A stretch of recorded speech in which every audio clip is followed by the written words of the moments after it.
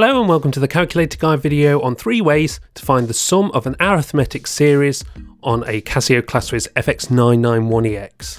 We have three different arithmetic series here and for the first two series we need to find the sum of the first 25 terms of those series and then the last series we need to find the sum of the first 40 odd numbers and we're going to have a look at doing this in three different ways, although they are all related to each other, but three different approaches that you can have for finding the sum of these arithmetic series. Let's have a look at the first one. We've got to find the sum of the first 25 terms of the series 5 plus 9 plus 13 plus 17 and so on. Now in the first two series we're going to have a look at using the sum feature on the Casio ClassWiz with two variations of the equation of the nth term. It's the same equation for both, but I'm going to use them in two slightly different ways. So with the first one, what we're going to do is to look for the equation of the nth term. Now I'm going to start off by putting in the sum feature on the Casio ClassWiz. It's shift and this button here, and you can see that we've got sigma notation involved there. Now what we're going to write inside the brackets is the equation of the nth term. Now in the first series, we're going to use a method which you might have learned whilst you were doing your GCSE mathematics, and that is what we can do is we can look at the common difference between the terms that we've got in our series here.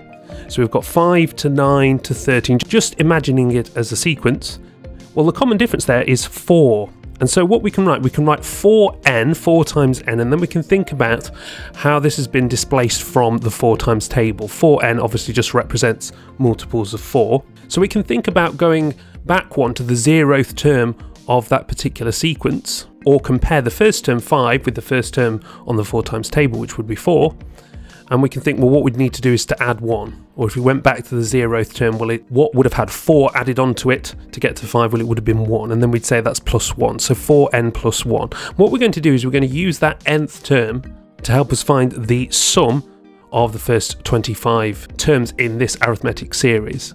Now, the sum feature on the ClassWiz works in terms of x, so we're going to substitute n for x. So what we're going to write in there for this particular series is 4x plus 1. And then what you need to do is just navigate right. And what will happen is the cursor will move to the sigma notation. And where it says x equals at the bottom there, we're going to input the first term from where we want to take the sum of that series from. Well, that's the very first term in this example. So we need to input 1 in this case. And then right we'll go to the top and then we want up to term number well we want the first 25 terms so we want to input 25 in there.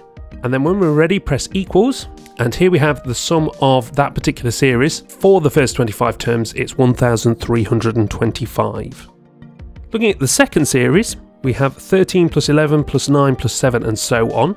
And once again, we're going to be using the sum feature from the Casio ClassWiz, so I'm going to get that ready with the sigma notation there.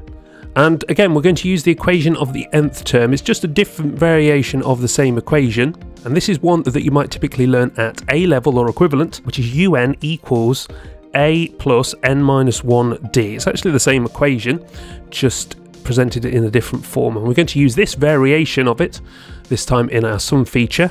Again, we want the first 25 terms. So let's just carefully input that into our brackets. First term is represented by A, so our first term in this series is 13 plus, and then once again, what we've got to do is just recognize that it's x instead of n. So we're going to put in brackets there x minus 1 rather than n minus 1. Just for clarity, I'm going to put a time sign in here. And then we've got d, which is the common difference between each of the terms? Well, in this case, we can see that in the sequence, each term is 2 less than the previous term. So the difference here is minus 2, negative 2 each time. So multiply by minus 2. Then we want to navigate right and we want to sum it from the very first term. So we want to input 1 up to the 25th term. So right and then 25. And then when everything's ready, just press equals and here we've got the sum of the first 25 terms of this sequence minus 275. We're perhaps expecting that to be negative because we can see that the series is going down. It wouldn't be too long after the first few terms there where we'd start to get negative results and obviously we're going up to the 25th term so actually minus 275 is quite an appropriate answer for us to get there.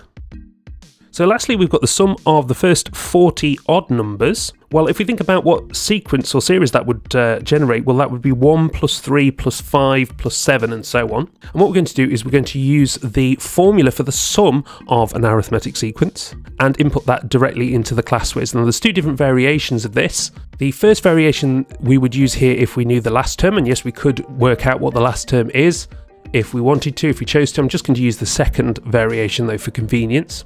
So it's a half times n. Now our n is the number of terms that we want to sum it to. Well, that's 40. We want the first 40 terms. And then in brackets, we want 2 times a. a is the first term in the sequence, which is 1, so 2 times 1, plus and then, well, because we're not using the sum feature in this one, we just need to work out what this would be. Well, n minus 1 would be 40 minus 1, which would be 39. So it's 39 times d, the common difference, well, the difference between odd numbers is 2.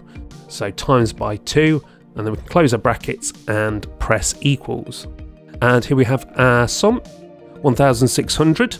We needn't necessarily have used the formula in that case, unless we're specifically asked to do so in a question if we use the sum feature, the sigma feature from the Casio ClassWiz, we would get the same result if we'd use that with the formula for the nth term as we'd done with the previous two questions. So there we go, three different ways, or perhaps three different approaches at least, to finding the sum of arithmetic series to a given number of terms. But that's it for this video, thank you very much for watching, and I will see you next time on the Calculator Guide.